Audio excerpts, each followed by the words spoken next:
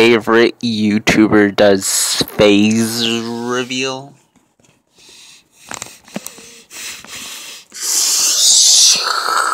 Oh, oh wait, oh okay.